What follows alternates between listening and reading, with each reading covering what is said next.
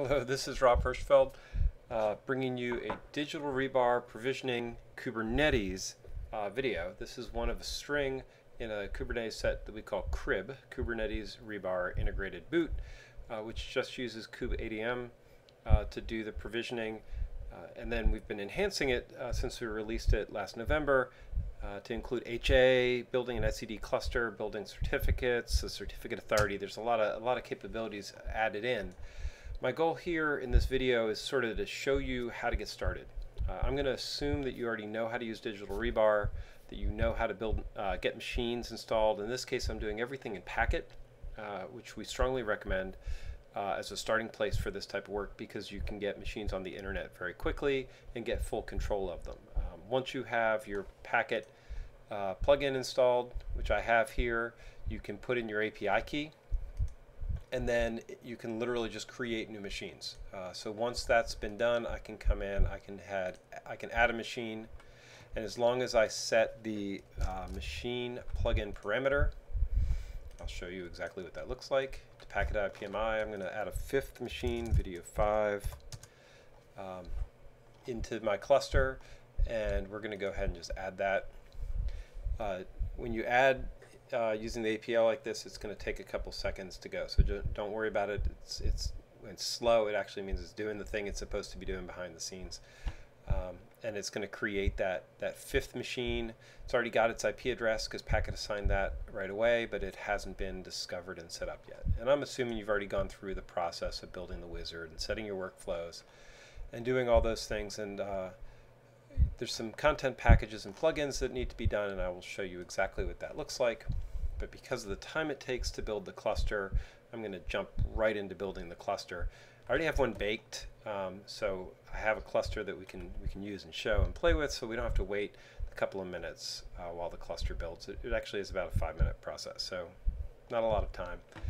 Uh, if you're interested in following along, everything I'm showing you is uh, Apache open source and what uh, there are some new things that I've been adding into the UX, and there's a couple new things that are coming through the pipeline. So what I'm showing you is tip content, meaning it's our, uh, our current latest.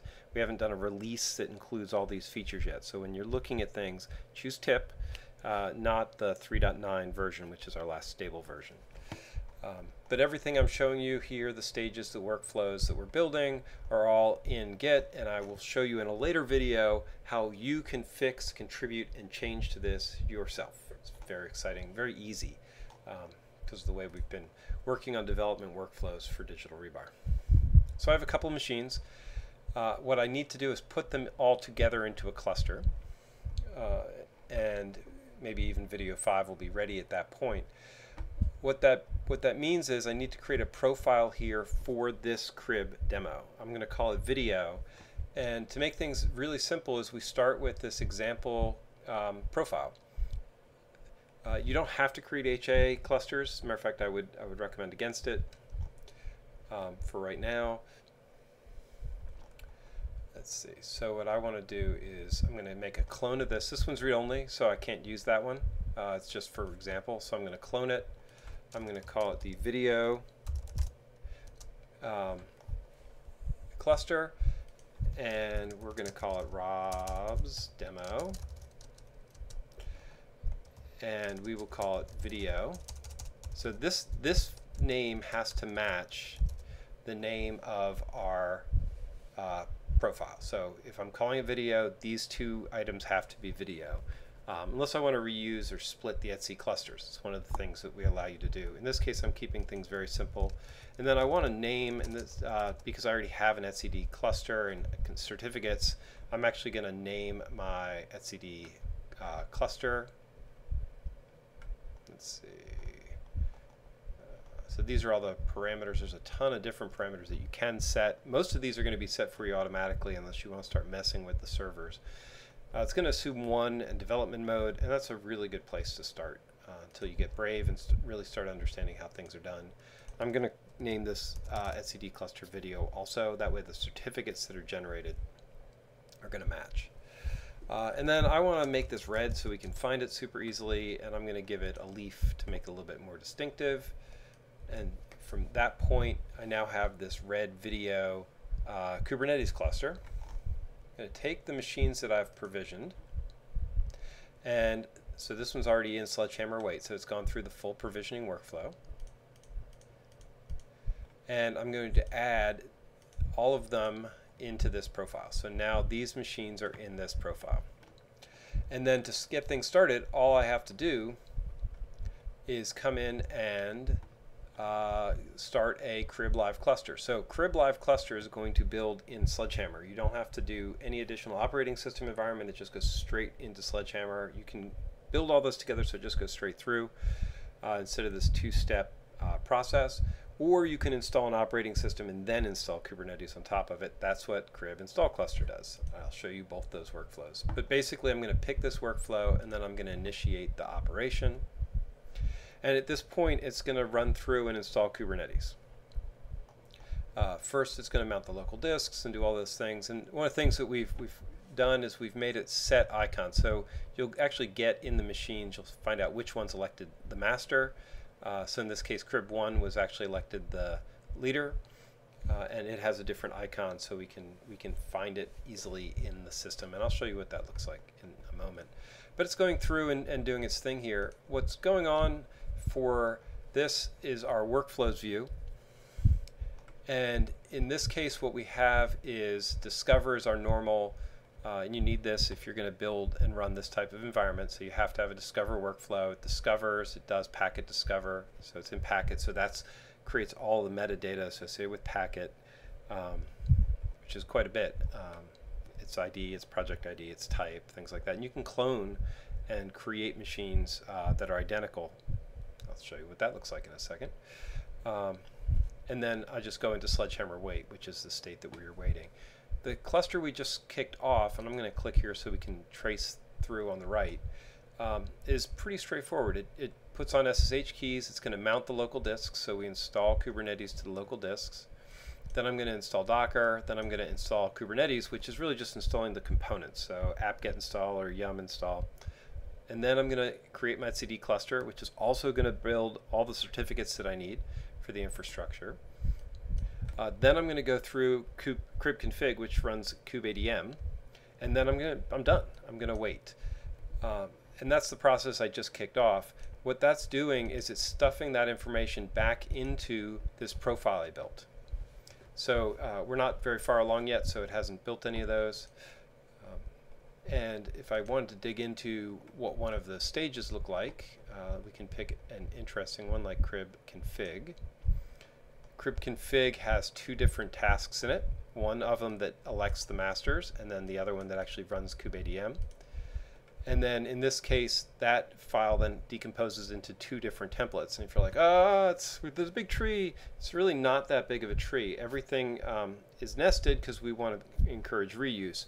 Um, and so there, we do have a, degree of a high degree of reuse here, but what you'll find in the templates is it's just uh, some bash Golang. This is Golang templating uh, and bash. Uh, so in this case, this is actually pretty straightforward. It's just running.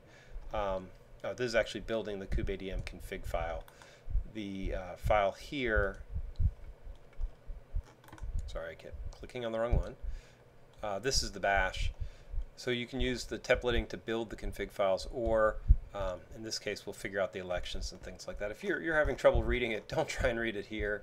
Uh, all of this is actually in Git in the, in the tree here. So uh, my templates here, if I want to see what's going on with KRIB config, uh, I can read it very easily right here. Um, and you'll see this is where we handle some of the, uh, the Golang templating and pick up different uh, components of the system. Okay. So with that in mind, let's see if we're making any progress with our uh, profile. So this is the same profile. You'll see I've made it through a significant amount of uh, my process. So I've gotten my uh, CA name, I've gotten CAs built. I can expand this. This is this, the password. And as I'm going, you know, I'm getting live updates. So uh, different machines have been elected to the master, the cluster. Here's my etcd servers. Um, and I can see what's going on with them. So this is literally building things. Uh, this is not a, VI, a VIP, by the way. This is just the external address of the machine. If you're building an HA cluster, which this code will do and you supply a VIP, it will create a um, HIA load balancer and distribute the load upon the among systems. Once again, advanced function, um, but the capabilities there. By default, it's just going to build a single, single master system. Uh, okay, so this is moving along pretty briskly. Let's check in on it and see what's going on. Uh, oh, we're now at KRIB config. I can click over here and actually watch it running the script. So this is the process. We still have uh, full debug logging turned on. And I can get live updates. So as this process goes, in this case it's waiting for the nodes to come up. Uh, so it's doing a get nodes and waiting uh, until all of the pieces and parts that are necessary have been spun in uh, to the system. And it's just going through that sleep loop. Back over here, uh, that'll wait. So video one was uh, elected my master, and then I have five other nodes in my cluster. And it's it's pretty much done. So in the time it's taken me to explain the basics to you, uh, I have completely built a Kubernetes, Kubernetes cluster. Um, pretty fun from that perspective.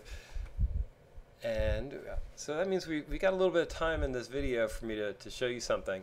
I'm going to go and, and do the other cluster in this case. Um, the one that's already built, so, so we don't have to wait around. So profiles here, I have a KRIB cluster.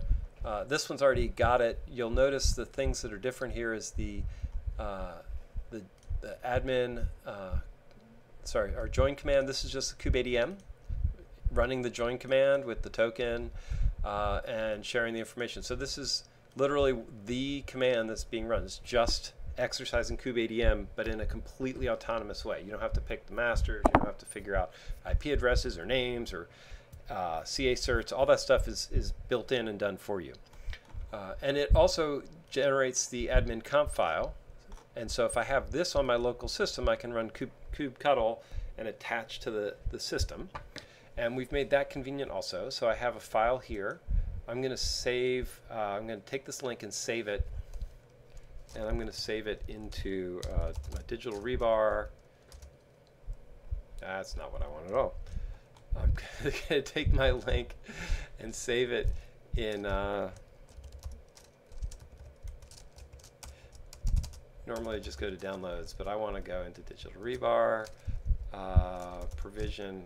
I already have this provision content, crib. That's where I am right now.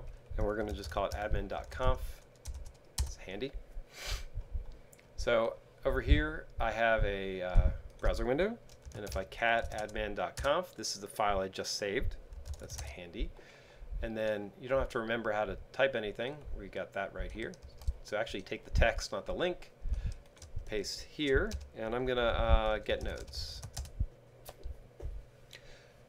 So uh, the admin conf file has the address of the cluster, it has my tokens and security and all those other things. So with that, I'm actually completely good to go uh, with my Kubernetes cluster. Um, easy to download. Now I can also get that same information using DRP CLI. Uh, in this case, I have my machines list. Uh, I'm gonna pipe. I'm gonna cheat and use JQ, so I only get the names of the machines. So this is all the machines I have in that cluster.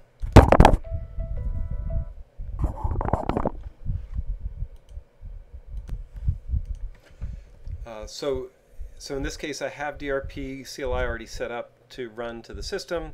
I can say DRP CLI uh, profiles, uh, show me the KRIB profile, which will show me everything in KRIB, which is handy because the file's there, but it's not really what I want. What I actually want to do is make it so you can see it. And then I want to get the params, uh, P-A-R-A-M-S, params for KRIB. Um, and what I what I want is I want to get this admin conf file. So right here, yay. And then I'm going to get that profile.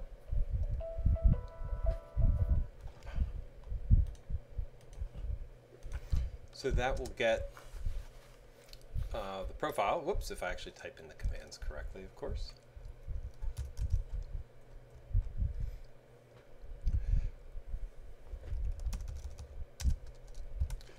Let's see.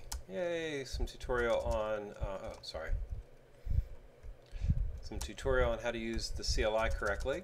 So if I go look at profiles, I will, I want the params, gets all the parameters. So profiles params.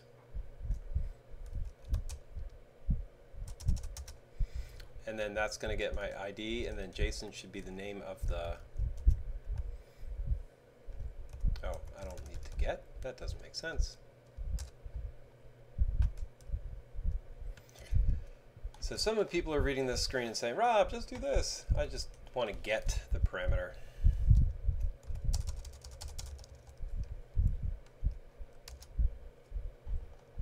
Get ID parameter. There you go. So now I have the admin conf file. So now if I wanted to, I could pipe this into uh, second. I'll just I'll call it video.conf. This is very exciting. And then I go jump back to my kubectl config, and now I'm going to say video So I'm showing it to you this way because um, CLI and API is really important to us. Uh, and if you were going to downstream take action in that cluster, you would want to use this command. You wouldn't want to do it from the UX. Some people are like, ah, Rob, you always show us the UX. I'm like, yeah, the UX is handy for video. Um, CLI demos are not particularly exciting because they don't, they don't show you all this context. Um, anyway, uh, so in this case, we've, we've gone through uh, the system, there are errors. So you get to see me troubleshoot a little bit. And so in this case, I can go back through. This is that live log. Um, and it's telling me um, that there was an error. Looks like Kubernetes master initialized successfully. And then we have some other issues. And so this is, this is probably working actually fine. You can join machines and do all sorts of stuff. And one, one of my options here is to just come back. Uh, this is still under development. You can see it did figure out the master, it just didn't take a final step. And I can just set things runnable. Uh, kubeadm does not uh, necessarily appreciate um, having things rerun, and so that can cause some problems. Um, and so you, you would need to troubleshoot what had happened and look it up. And I'll do a separate video that shows you what it looks like to actually do this test cycle uh, on the system. I'll, I'll, leave this one in place. Uh, but before that, I do want to show you what it would look like if I was going to reset the environments and um, wanted to do this as a second test because this is one of the other common com common challenges that, that you're going to encounter with this is that you're going to say, this was fun, Get, do, it, do it again, Rob. And so in those cases, what I can do is I'm going to go ahead and take my uh, second, my working cluster, and say I'm, I'm ready to, to make a tweak and, and change my logic and re, regen it. Uh, what we've been adding is a KRIB reset cluster, uh, and KRIB reset cluster, and I'll, I'll, tell you exactly what it's going to do. Um, it's going to go, but it, it's going to go through and wipe out the that profile. So all of that extra information that got set in that profile as we went is um, problematic and so it's it's going to keep us from actually doing the work we need to do. So in this case, it's clearing a whole bunch of things, and it's telling me, oh, wait a second, I have to actually clear the root CA myself. Oops, that's not what I meant to do. Clear the root CA myself. Um, right, this is a privileged operation. The machines can't do this. you have to do it. Um, I'm sure Greg's going to figure out some some cool way to, to fix that, but basically what I, I'm doing here is I'm just clearing out my certificate roots going to go back over here, take these machines, and say, ah, okay, um, let me try again. I'm going to rerun them, and they will go through, and you can see now they're now they're succeeding in that process. So now I've gotten the machines cleared out. That's not enough. Um, I also have to re uh, reboot them, so I'm setting them back to Discover to let them be rediscovered, and I'm going to power cycle them, which I can do using the Packet API and now I have to wait a little while while they reboot. Uh, and then I'd be ready as soon as they come back in and check in and they're sledgehammer ready. I can put them straight into the process. Excuse me. Or I could build a new workflow that combines Discover and uh, CribLive deploy and just go straight all the way through. And so that's pretty much the process. Let me show you what, what KRIB looks like now that I've gotten it cleaned back out. So now it's just back down to the standard KRIB cluster with just those two profiles. So if you remember, I had all the, the values set. Those had been populated while the system was going, and I had my, my uh, admin conf file and things like that. All that's gone. Um, and now we're back to the system. I do have one bonus thing to show you as a, as a fun little piece of functionality. Uh, I can take this machine, and if I want to make a fourth machine in this case, um, by the way, this is TF as in Terraform, so these machines, there's actually a Terraform version that will build the profile and the workflow and add the machines and do all this work for you. Um, but if I just want to copy a machine that's already there, I have to remove its address, uh, and then I want to take out some of these uh, values that have been set. Here's GoHi. Uh, that'll just get overwritten. Here's the, the packet plugin IPMI that I need. And then these are the values that uh, are for the machine. The only one I need to remove here is the machine UID, which is uh, not going to be for the clone machine. All these other things are actually the things that I need, and the SOS string is going to be also. Um, and then I can actually add this server in. And now I've actually cloned my machine in Packet. Um, same, you know, or I could have given a different cl uh, classification with the API. Uh, and it's going to go through and build a machine and add it. Um, one thing to note here is that it's not in the cluster uh, because, oh, it is in the cluster because I cloned it. So it's in the profile. If I just add a new machine, I have to remember to put it in the profile. So an advantage with cloning is that you get this process. Um, cool. And then that's uh, KRIB for you please, please, please, uh, this is an open source project. We very much want uh, community help around this. We will accept and review pull requests around the KRIB pieces uh, and the digital rebar provision docu uh, documentation is integrated into digital rebar provision. So in doc, there is a KRIB component here, uh, and we're going to be working on updating and expanding this documentation to um, match what I've been showing you in the video. Um, and please, uh, help us get this documented, add in tips and tricks and things that you've discovered along the way. Um, we are very excited about this functionality and, and we, we really hope that you'll participate in making it better. Thanks a lot. This has been Rob Hirschfeld giving a Digital Rebar Kubernetes integrated bootstrap uh, demo.